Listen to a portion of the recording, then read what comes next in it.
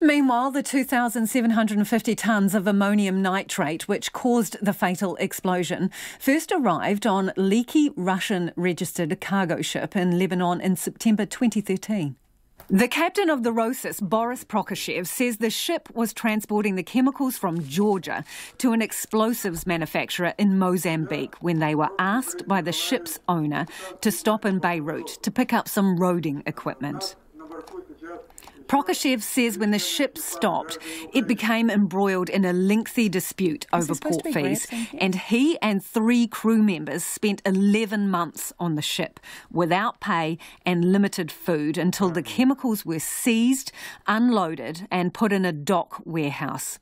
He says he had no idea that almost seven years later the chemicals were still at the warehouse. Я вот это понять не могу.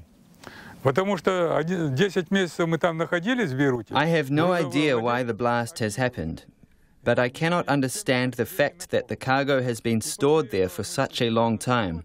When we had been there for over 10 months, the owner did not claim the cargo. As far as I know, the cargo was unloaded in 2014 or in 2015, and no one claimed it.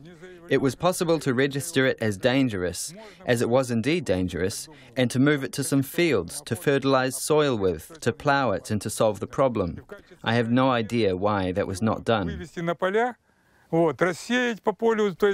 Knowing that dangerous cargo is on board a ship in a Beirut port, and when the ship owner asked to go to Cyprus, the authorities should have paid him extra to remove the ship and take this headache away from the port. In this case, it was better if the ship would have sank along with the cargo. It should have been taken into the harbour to anchor it as the first option. The second option was, but it would have involved costs, to tow the cargo away to some other port and unload it there or to sell it.